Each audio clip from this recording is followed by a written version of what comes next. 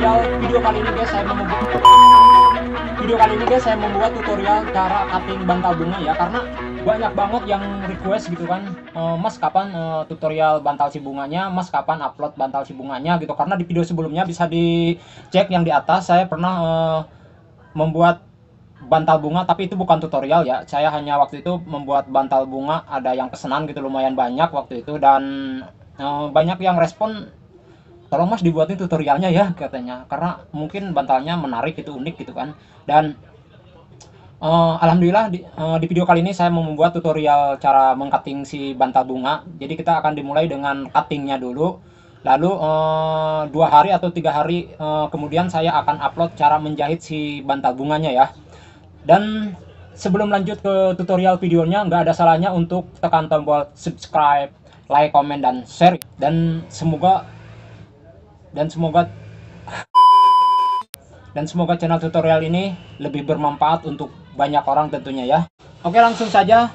Eh, saya sudah pegang ini bahan doti warna hitam ya dan akan di matching dengan doti warna merah. Eh, nanti eh, untuk bulatan di tengahnya pakai doti merah dan untuk listnya juga nanti pakai doti merah dan eh, untuk tinggi pinggirannya itu nanti kita pakai doti hitamnya ya dan langsung saja kita ke tutorialnya. Oke guys ini sudah 46 cm persegi ya. Dan ini dua lembar satu lembar dan ini dua lembar ya. Dua lembar 46 cm persegi untuk satu bantal si bunga yang satu ini ya. Dan cara cuttingnya dari arah saya ini tekuk ke depan satu ya. Bisa diulang tekuk ke depan satu nah seperti ini. Lalu diputer ke sini ya diputer nah satu. Lalu dari arah saya lagi ditekuk ke depan satu nah seperti ini. Nah diputer ke saya lagi nah seperti ini. Nah dari arah saya juga ditekuk setengahnya ya nah di setengahnya. Bisa dilihat nah setengahnya gini ya ditekuk. Lalu yang sebelah sini ditekuknya ke bawah. Nah seperti ini. Nah gitu ya dan bisa diulang kembali ya. Ulang kembali. Eh, dari arah saya nih ditekuk satu lalu diputar nah terus lalu dari arah saya lagi ya ditekuk ke depan satu nah disamain pinggirannya seperti ini.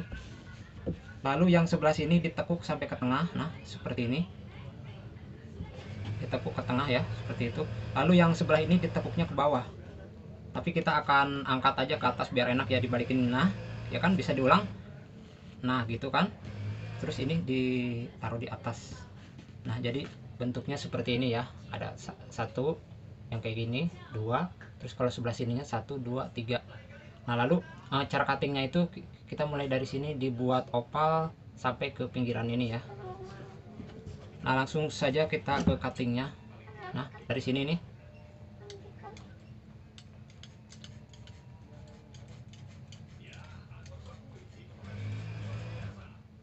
dilihat.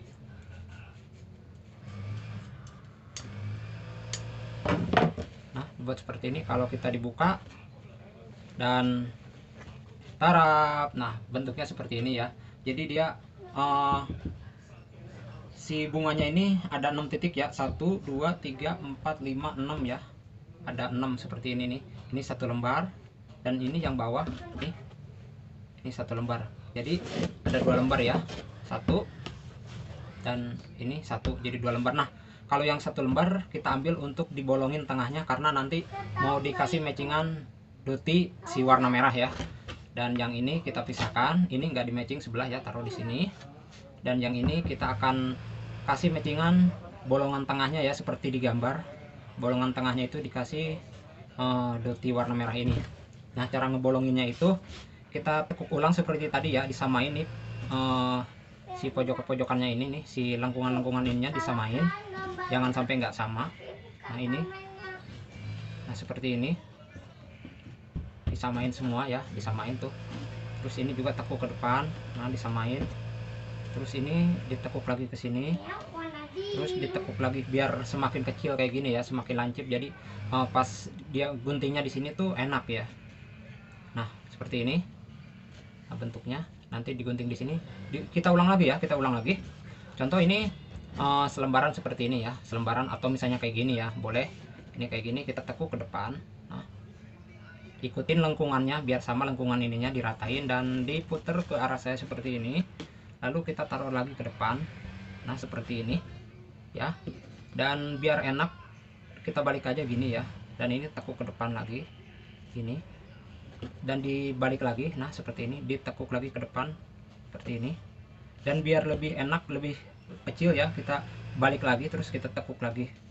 Nah jadi lancip seperti ini ya. Dan di sini nanti kita akan gunting lah. Kita ambil meterannya kita meterin di sini. Dari titik ini ke sini itu di angka 5 ya di angka 5 jadi untuk bulatannya di angka 5 berarti nanti diameternya itu 5 eh, cm berarti keseluruhan bulatannya itu 10 berarti ya? Dan karena di sini 5 di angka 5 cm nah di sini kita gunting. Gunting lurus saja. Nah dan ini dari uh, sudut yang digunting kita tadi ini kita buang dan yang kita ambil adalah ini. Nah tuh di tengahnya ada bolongannya ya dan nanti kita akan ambil uh, si warna doti ini untuk uh, nutup bolongan di tengahnya. Oke. Kita taruh dulu dan kita sekarang ambil warna dotisi merah ini ya. Warna dotisi merah ini kita mengukurnya di angka 12 cm ya. Di angka 12 cm biar nanti tidak kurang. Di angka 12 cm nah, seperti ini.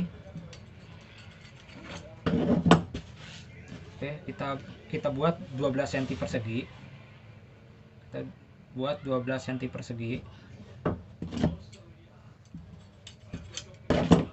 Nah seperti ini. Ini 12 cm persegi guys ya. Oke kita tekuk ke depan satu ya. Terus diputar ke arah saya ditekuk ke depan lagi diputar ke arah saya lagi atau enggak dibalik ini ya. Terus diputar nah diputar nah dibuat sampai kecil gini ya kalau misalnya kalian pernah melihat uh, tutorial cara mengcutting GKM ya cover galon kulkas Magicom itu sama bulat kayak untuk bulatan si galon ya. Dan bisa bisa dicek linknya di atas cara uh, cutting GKM kalau untuk bulatan si uh, tutup galonnya itu sama ya. Dia dibentuk uh, apa sih dari persegi sekian gitu kan terus ditekuk ditekuk ditekuk lalu digunting di atasnya. Sama kayak ini. Ini juga sama tinggal digunting sebelah atasnya. Nah digunting ini dan tarap. Jadilah bulat seperti ini. Ini fungsinya untuk nutup di sini ya nanti ya. Fungsinya untuk nutup di bolongan yang ini. Nah yang bolongan ini nanti kita tutup. Oke ini untuk tingginya 9 cm nah untuk lebarnya 9 cm kalau misalnya uh, diameter panjangnya ini 1,5 ya. Dan uh, mudah-mudahan ini 1,5 cukup ya kayaknya saya juga nggak pernah ngukur sih kalau emang misalnya kurang gampang lah nanti bisa disambung gitu kan. Dan yang pasti ini 1,55 tadi ya taruh di situ. Dan yang ini kita rapihkan lagi. Ini yang ini yang ini kita rapihkan lagi yang doti-doti hitamnya. Taruh aja di situ dan ini doti-doti merahnya. Sebenarnya ini bukan bukan potongan sisa ya tapi uh, sengaja buat bantal bunga ya dan uh, saya sisakan satu untuk membuat tutorial cara cutting si bantal bunga. Nah ini untuk si list-listnya. Kalau untuk si list-listnya list pinggirannya itu uh, lebarnya itu cuman kurang lebih 3 cm ya. Dan kita buat secukupnya aja. Nah digunting-gunting seperti ini. Ini untuk list-listnya. Kita buat aja secukupnya secukupnya. Dan kalau ada yang belum paham silahkan komen di bawah. Dan kalau ada yang sudah paham komen juga di bawah ya. Jadi yang tidak paham komen di bawah. Yang yang sudah paham juga komen di bawah. Dan jangan lupa untuk subscribe like komen dan share biar banyak orang yang tahu bahwa ada channel tutorial yang membuat uh, pernak-pernik. Seperti ini ya. Ini pernak-pernik ini namanya. Buat bantal bunga. Dan kemarin responnya sih lumayan. Banyak yang suka. Dan aku juga naruh di Shopee ya. Kalau misalnya kalian uh, mau beli jadi gitu kan ah aku mah ribet gitu buat. Susah nggak bisa. Sibuk dengan kerja sibuk dengan kantor aku tapi aku pengen tertarik dengan uh, si bantal bunganya. Bisa beli di toko saya ya. Silahkan di cek di bawah deskripsi video ada linknya toko saya di Shopee. Dan ini list-listnya kita buat secukupnya aja. Oke guys, kita sudah buat ini untuk si list-listnya. Kita buat secukupnya. Dan uh, ini untuk um, badan bagian belakang yang bolong dan ini dotinya ya untuk di bagian tengahnya. Oke, kita lepit dan ini untuk bagian belakangnya ya. Dan yang ini ini untuk bagian si tinggi bantal bunganya Oke, so sekian video kali ini. Semoga bermanfaat. Jangan lupa untuk selalu support channel ini dengan like, comment, share, dan subscribe ya. Bila ada pertanyaan, silakan follow Instagram Aidan Jainuddin Hanab.